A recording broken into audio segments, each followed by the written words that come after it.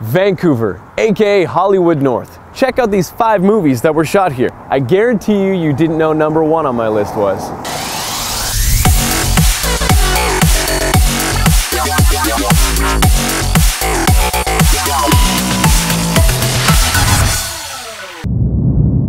It was one of the most talked about films of 2015, Fifty Shades of Grey. A lot of it filmed right here at the Hotel Fairmont, Vancouver, including the famous elevator scene.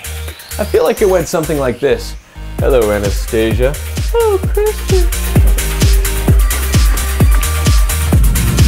Look out, there's Godzilla! Let's get out of here! So a lot of movies that take place in San Francisco were actually filmed here in Vancouver, like Godzilla. Hot Tub Time Machine filmed right here on Mount Seymour. Let's go check this thing out. Hi. Thank you. There's a hot tub up top. Ah. Somebody already pointed me to that one over there, but I believe that's a frozen pond. Oh, well, I'm not gonna lie, I probably should have waited a little bit to put my trunks on. This is an equipment shed. I thought this, this was gonna be a hot tub. Next on the list, Rise of the Planet of the Apes. You can see a lot of Vancouver in this movie. Remember that scene where John Lithgow's trying to steal the neighbor's car? And the neighbor comes out, he's like, dude, you can't take my car. And then Caesar's up in the window and he's like, and then he attacks the neighbor.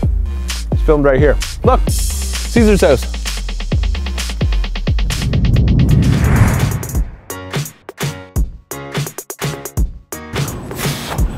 I think I lost him. I didn't want to jump in the garbage can. Finally, never ending story.